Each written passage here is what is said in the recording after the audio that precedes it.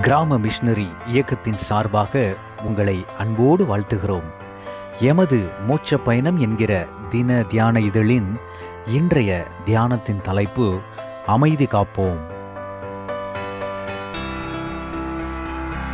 பிரதான ஆசாரியரும் மூப்பரும் அவர் மேல் குற்றம் சாட்டுகையில் அவர் மாறுதரம் ஒன்றும் சொல்லவில்லை. மத்தேயு இருபத்தி ஏழு பனிரெண்டு. இரண்டாயிரத்தி பனிரெண்டாம் ஆண்டு சிட்னி மைதானத்திலே ஆஸ்திரேலியாவுக்கும் இந்தியாவுக்கும் கிரிக்கெட் போட்டி நடந்து கொண்டிருந்தது. எல்லை கோட்டின் அருகே நம் இந்திய வீரர் ஒருவர் நின்று கொண்டிருந்தார். அப்பொழுது பார்வையாளர்கள் அவரை கேலி செய்தார்கள். அவதூறாகவும் பேசினர். இதனால் கோபமடைந்த வீரர் தன்னை கேலி செய்தவர்களுக்கு தானும் செய்கையில் பதிலடி கொடுத்தார். விளையாடும் நேரத்தில் அவரது இந்த நடவடிக்கையால் அவர் மீது ஒழுங்கு நடவடிக்கை எடுக்கப்பட்டது.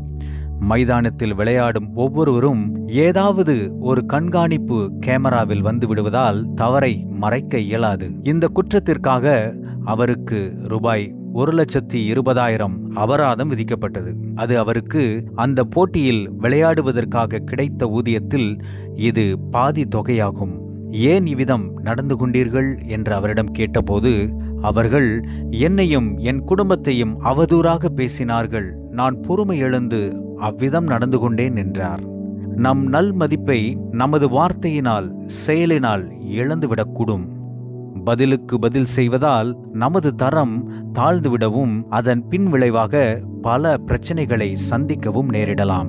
ஆனால் அப்படிப்பட்ட நேரங்களில் அமைதி காப்பதே ஞானமான செயல். தேசாதிபதி ஆச்சரியப்படும் அளவிற்கு இயேசு கிறிஸ்து அமைதி காத்தார்.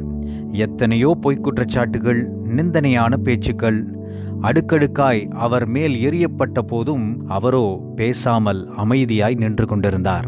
தன்னை நியாயப்படுத்தவோ குற்றச்சாட்டுகளை மறுக்கவோ அவர் வாய் தரவாமல் நலமானதை கூட அவர் பேசவில்லை.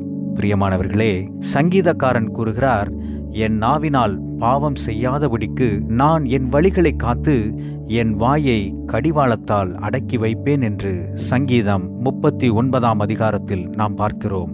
இன்று நாமும் பலவித பிரச்சனைகளிலே கோபத்தின் உச்சகட்டத்திலே உணர்ச்சி வசப்பட்டு வார்த்தைகளை கொட்டிவிடாமல் நம் வாயை கையினால் மூடிக்கொள்ள பழகிக்கொள்வோம்.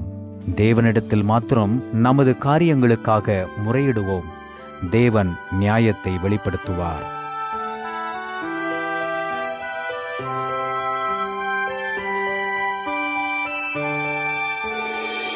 இன்றைய நாளுக்கான ஜெபக்குறிப்பு. ஜெபக்குழுவில் ஜெபிக்கும்படி பங்கு பெறுகிற ஒவ்வொருவரும் ஜெபக்குழு தலைவராக மாற அவர்கள் மூலம் அநேக ஜெபக்குழுக்கள் எழும்ப நாம் ஜெபிப்போமா?